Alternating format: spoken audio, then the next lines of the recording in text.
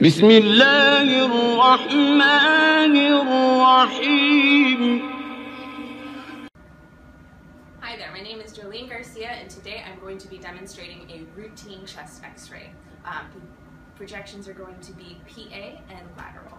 Uh, first I'm going to go ahead and make sure that my room is set up correctly, starting with um, detenting my tube to a 72 inch SID.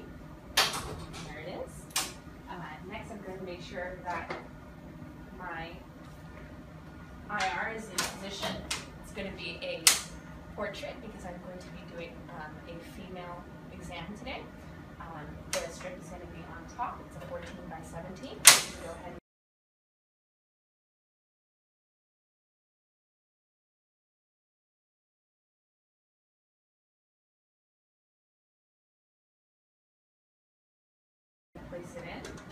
Make sure that the wall bucky is aligned with my tube. Make sure that the collimation is um, in alignment with a 14 by 17 inch IR. Um, and then next I'm going to go ahead and put my marker um, in the anatomically correct position, left marker on the left side, just so I don't forget. Right there. Um, next I'm going to go ahead and get my patient, grab the requisite form, step out into the waiting room. Heather Boma. Yes. Hi, how are you doing today? I'm well. How are you? Very good, thank you. If I could just verify your last name and your, your full first and last name. Heather Boma, Perfect, and your date of birth. 568. Wonderful. Um, and do you know why you're coming in today? Um, I've been having some chest pain. Okay, and how long has that been going on? About a week. About a week? Yeah. Perfect, all right. Get you some chest images. Um, first, I'd like to ask if you have any jewelry that you're wearing that could obstruct the view? No. No? And then, is there any possibility of you being pregnant? No. All right, go ahead and shield you.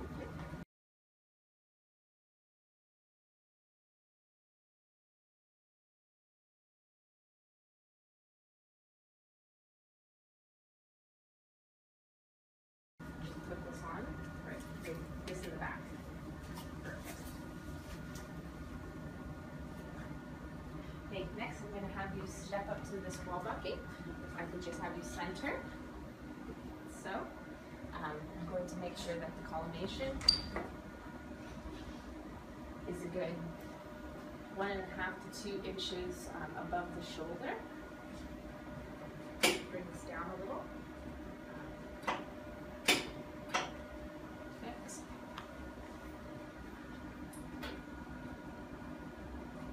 There we are.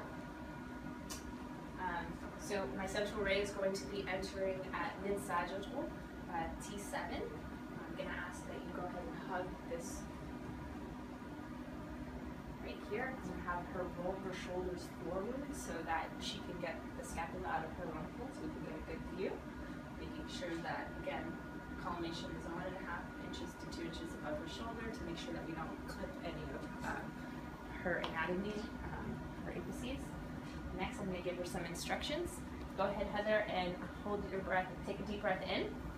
Go ahead and release it. Take a deep breath in again. Hold it. X-ray. Beep. Take the X-ray. Go ahead and breathe normally and relax if you'd like. Um, the technique on that, I'm going to be using a 110 kVp with anywhere between 4 to 8 MAS. But for hers, I'm probably going to use a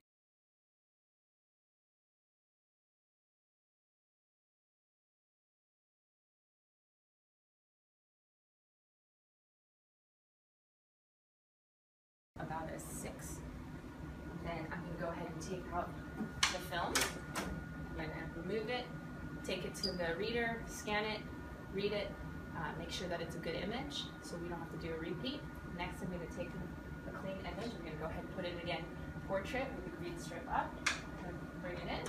And then for my lateral projection, I'm gonna have Ms. Bowman face the wall with her left side, with her left shoulder to the bucky. I'm gonna remove the shielding so that it shields from this point. Um, I'm gonna have, I'm gonna move my marker to the front. And then I'm going to have you raise your arms like so. Go ahead and put your shoulders together or your elbows together. I'm gonna make sure that the scapula is um, straight, shoulders against the wall, hips are straight. Um, if you could just move forward a little bit, just to make sure that there's no rotation. Um, I'm gonna go ahead and move this up a little, so when she takes a deep breath in, her shoulders move up, that we don't clip anything. Um, this up to be in alignment with that move.